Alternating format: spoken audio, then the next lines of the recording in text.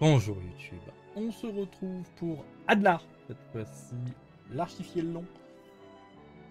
Bah, c'était la dernière unité qui me manquait et merci les poules gratuits de fin de step pour me garantir enfin cette dernière unité euh, il y a quelques jours puisque oui, ce personnage, je voulais l'obtenir pour une raison un peu particulière puisque la TM, oui, c'est un sang de magie pour les personnages de type Dragon Quest Die, pour le coup, ce n'est pas un accessoire, pour une fois peut-être même qu'on pourrait dire, mais c'est surtout ce point à deux mains. Ce point à deux mains avec 180 d'attaque, 218 de magie, a des killers humains et killers démons à 75%, et c'est un point de main qui m'intrigue. Faut-il en faire un? Faut-il en faire deux? Pour le coup, que ce soit la lance de Yunke, l'épée de Baran, l'épée de Dai, l'épée le bâton de, Pop, les points de, de MAM. Il n'y a pas de problème de dire sur ces 5 STMR, vas-y, let's go. Mais là, un point de main, un 2-18 de magie, ok. Maintenant, c'est un point magique. Donc, du coup, éventuellement, variance, puisque c'est dans une semaine, hein, ça devrait être ce jeudi 15, je crois, 15 hein, euh, ou 16 hein, que ça sort. Eh ben, va falloir y penser. Parce que une petite Cacteria sous ce point, à la base de son point à deux mains, enfin des deux, deux points à une main, ben ça va faire plus de dégâts. Ça va avoir des variances. Et les variances, ça va être important pour la magie. Donc, je suis assez sceptique de dire ouais, vas-y, go, bourre, euh, utilise-le et, et mets plein de STMR. Mais en avoir un, je trouve que c'est pas dégueu en vrai. En avoir déjà au moins un, si je puis dire. Donc, c'est pour ça que je voulais ce perso. Maintenant, qui est-ce qui fait le perso?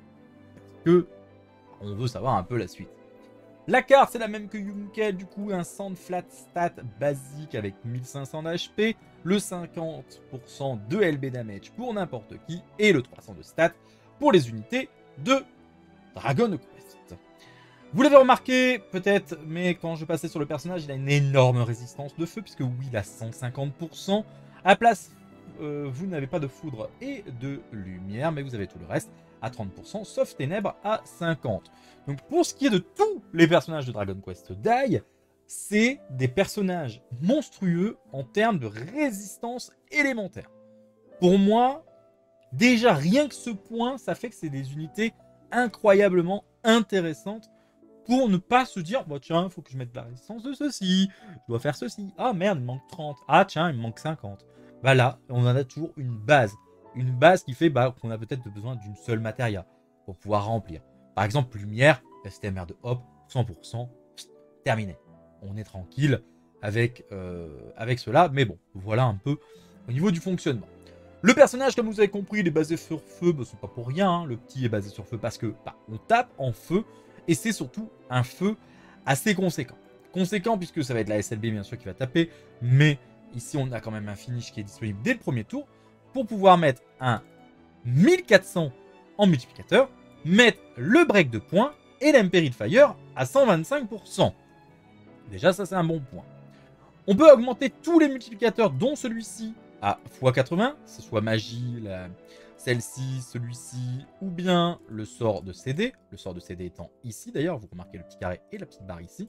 Donc celui-ci va pas passer à 80, mais passer à 160. Donc on est à 860 sur ce sort. 860, on retient. Donc en dehors de ça, ce sont des petits sorts avec magique considérés physiques. Donc on peut prendre n'importe quel imbu et dont l'imbu de l'arme, bien entendu. Le reste, pour le coup, le personnage, c'est un petit dégât fire, tranquille, avec un gros finish ici et du bolting strike sur les sorts à côté. Le perso, dans ces chains, vous avez déjà 300% de LB damage, vous avez un 200% de true double end une STMR de boss et c'est terminé. On a 400% en magie. Bref, une STMR d'un personnage extérieur, son arme, sa TM, etc. Et vous êtes largement tranquille. Et en plus de ça, le perso est chain cap x6 avec chain cap élémentaire x 200%. Celui-ci, je rappelle, peut monter jusqu'à 300. Vous l'avez en Hex 2, un des chain cap, et vous l'avez naturellement avec le sort de NV au level 1 donne les 200%. Ici, La TM STMR, on va vouloir les équiper. De toute façon, c'est du flat magique en TM, donc oui, puisque c'est 150% de LB damage, c'est la résistance à plusieurs éléments. Donc c'est un grand oui. En LB1, en X1, pardon, je rappelle, auto LB, bien entendu, et X3, 500 d'attaque et de magie. Le reste, c'est assez habituel, on connaît euh, la chanson. Mais le perso, donc qu'est-ce qu'on va faire en SLB Pourquoi 300% de LB damage? Bah tout simplement parce que le perso en LB normal aime péril 130 de feu, le LB boost de 200%, le dégât de feu de 200%, mais surtout, prochaine action augmentée de 300%. Vous avez compris que dans sa rotation en X2, au tour 3, on fait la LB, au tour 4, on envoie la SLB. Et tout simplement parce qu'on va avoir le boost ici de 300% de magie.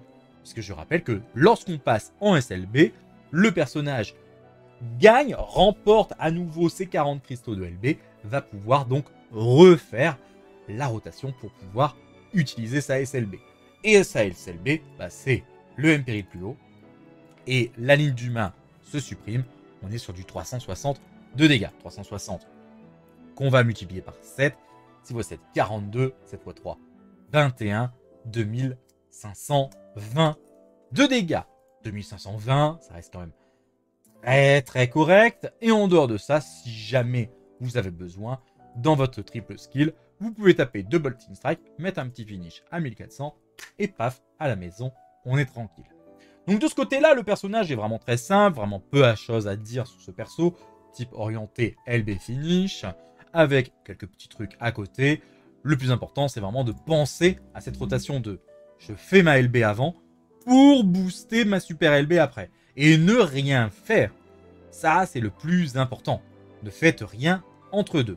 Au niveau du résultat du personnage, bah Adlar, c'est quand même du niveau de Angela. Angela qui a 13 tours de setup. Là, on n'en a que 3. Alors 3, bizarre. 4 plutôt. Oui, puisqu'il ne compte pas le premier parce que vous faites ce que vous voulez. Vous lancez votre CD, vous faites la LB, vous faites la SLB. Et ça, c'est tout le temps, tout le temps, tout le temps la même chose. Ils vont plus loin à chercher la LB, le CD finish avec la chain pour mettre dans les chains, etc. Pourquoi pas De toute façon, le plus important, c'est là. Même si CD finish plus chain, ça fait un tout petit peu plus de dégâts. Mais le tout petit peu plus de dégâts, trop long, trop chiant à setup. Nous, ce qu'on veut, c'est de bourrer tout de suite. Donc là où ce sera plus intéressant, en tout cas, ce sera sur la SLB. Au niveau des chains, il n'y a pas à parler. Hein. Bien sûr, le personnage tout chain, c'est deux finish, hein. c'est boum boum, pas la boum, crac crac. Hein. Mais euh, c'est le stuff qu'on veut voir. Parce que le stuff, ben, vous avez compris qu'on a un x6, donc ceci, c'est pas nécessaire. Mais moi, je suis pas en X2 pour le moment. Donc pour moi, c'est nécessaire. Sinon, épingle florale, chapeau de bibi, etc. Donc tant que vous n'avez pas votre deuxième étoile, ça c'est utile. N'oubliez-le pas. On met un maximum de magie, parce que le personnage, bah, justement, il est à 400%, donc on a besoin de zéro.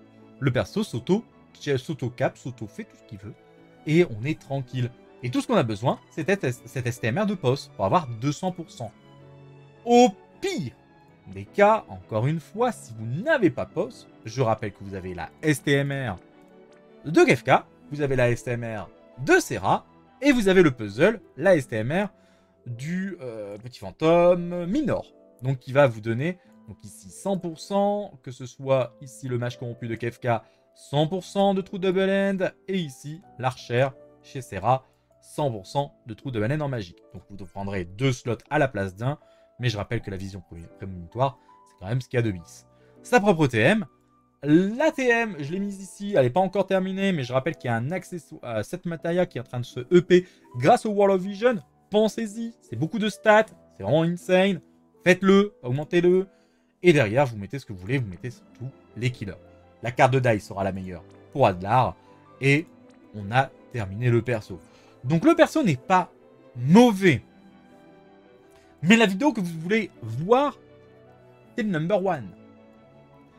Et c'est un number one qui explose tout. Esther est quand même en dessous en termes de dégâts. C'est insane. Pourquoi Baran fait autant de dégâts? Bah allez comprendre. Parce que moi-même je l'ai pas. Mais euh, je rappelle que la LB de Baran a une petite particularité. Ça vous verrez dans sa vidéo, bien entendu. Mais Baran serait le meilleur. Et comme quoi, tout le monde disait, ah, ça LB normal, ça LB normal. E. E. Hein? Donc Baran, c'est pas à poubelle. Hein? Le bro papa, il est bien costaud, bien remonté comme il faut. Donc, ça, c'est la dernière vidéo, bien sûr, de Dragon Quest. Je vous invite à venir la voir. Comprenez de pourquoi j'ai travaillé sur ce format. Beaucoup d'écriture pour très peu de choses à parler. Je me suis dit, autant donner les infos, rattraper le retard. Et comme ça, on est tranquille. On peut repartir très bien dans cette semaine. Ce format ne sera pas adapté tout le temps, hein, sauf si ça vous suffit. Mais euh, je trouve qu'il y a pas mal de choses à noter, etc. Et euh, bah voilà. Hein, dire que euh, reprendre l'ancien format, pourquoi pas. Mais rester sur le nouveau, c'est peut-être mieux pour vous. À vous de voir. Mais en tout cas, de celle de Adlar. Adlar n'est pas mauvais, ne notez pas comme mauvais personnage. Surtout si vous n'avez pas du Angela, vous n'avez pas du Linois, vous n'avez pas du Frivia, ou vous n'avez pas du Dark Reign. En gros, tout ça au-dessus. C'est pas très dur. Mais ça restera un très bon finisher de Fire. Comboté à pop, ça bouffait deux mages au niveau d'un... Euh, merde. Et en plus, je le fais. FMA, Roy Mustang, d'accord? Vous avez un double Roy Mustang, hein, avec Adlar et Pop, hein, même si c'est pas la même série. Il pourrait, malheureusement, il n'a pas été très bien EP, hein, mais il pourrait jouer dans la même cour, euh, s'il devait se battre contre des homonculus. Voilà pour la partie Adlar et euh, l'avant-dernier personnage de Dragon Quest. Moi, je vous fais des bisous YouTube, et on se retrouve pour le dernier perso. Ah, bah très bientôt, dans quelques minutes. Ciao, bye